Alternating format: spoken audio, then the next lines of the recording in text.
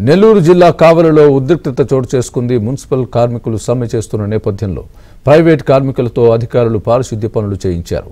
వారిని కార్మికులు అడ్డుకున్నారు. దీంతో పోలీసులు మున్సిపల్ కార్మికులకు మధ్య తోపులాట జరిగింది. వారిని పోలీసులు బలవంతంగా వాహనాల్లోకి ఎక్కించి స్టేషన్కు తరలించారు.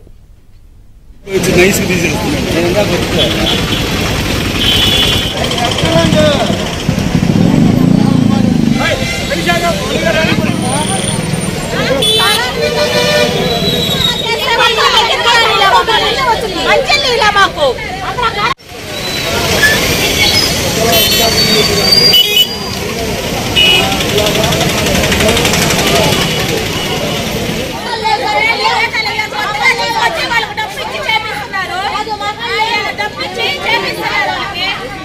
బయట నుంచి తీసుకొచ్చి చేపిస్తున్నారు. అయ్యా మాకు ఇయ్యొచ్చుగా?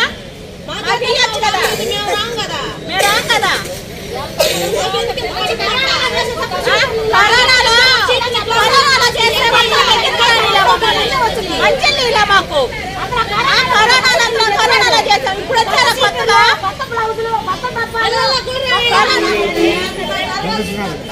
బయట పెట్టుకో సార్ వచ్చినప్పుడు పెట్టుకున్నాడు కరోనా